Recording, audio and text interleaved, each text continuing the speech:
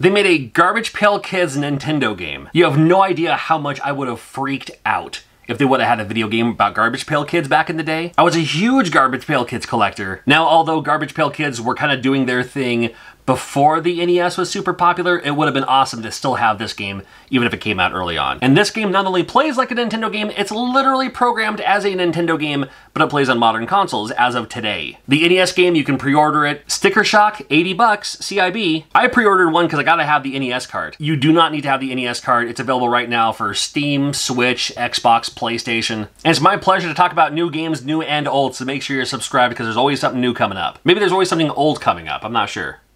This is Garbage Pail Kids, Mad Mike, and the Quest for Stale Gum. Now, Digital Eclipse had their hands in this game, which means that all the cool things that Digital Eclipse is known for, like the behind-the-scenes stuff, the way it saves, well, uh, we'll, we'll cover that in, later on in this video. Now, even things like, you know, screen size or filters, or the how the border is set and stuff like that too, you can optimize that to however you need. Like let's just say it's a normal size, normal size TV border, the LCD filter. There you go. You hit start, the game begins. For this video, I'll just do like a normal size. I'll just do like a simple border here. And there are so many of your favorite Garbage Pail Kids in this game. Playable, not playable, enemies, all included. But the whole point is Mad Mike wants his stale gum. Yeah, they, they need to have a stale, not, not the new gum. Gum, gum's gotta be stale. So you can play as four playable characters in this game. First, you gotta choose which level you want to go to. Six levels to choose from. That's where you'll find the ingredients. Love how you warp there. Very Garbage Pail Kids like and you're off and running. Now, again, you play as four playable characters, but your other Garbage Pail Kids cards will come into play as uh, usable items later on in this game too. And we'll talk about that coming up as well. But you have Mad Mike, you run and jump, and you can also use your, uh, you know, your sword and axe for attacking, right? Now, you're your typical just kind of, you know, action guy, I suppose. Luke Puke, well, he can projectile vomit however you need. The longer you hold it down, the farther it's to go. It might help you out with some of those enemies who are like down a level or something like that, you know? Leaky Lindsay, well, she's all full of snot, and she's more of like your direct shooter, so she shoots, you know, sneezes straight ahead. Gonna shoot enemies out of the sky and stuff like that, you know, perfect. And Patty Putty is my favorite character's graphics in this game. Because with the stretchability and everything, it's a, it, the face changes and manipulates just by walking, and it's so cute. I just absolutely love it.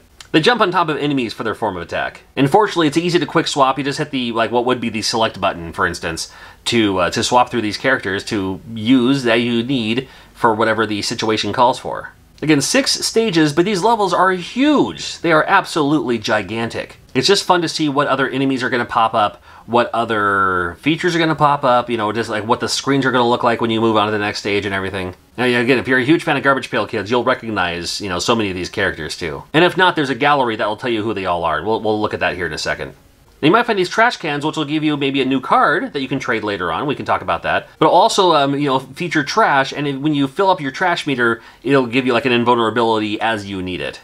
And when you do find these cards, well, the cards you can trade, and those are going to be your uh, your power-ups and things like that. So you can use Buggy Betty to fly to a certain part of the stage. You might be able to uh, freeze all the enemies, or maybe use Adam Bomb to uh, attack all enemies on screen. You know, things like that. You know, you can uh, you know revive one of your characters if they if they die or fall in a hole or something like that. You can bring them back.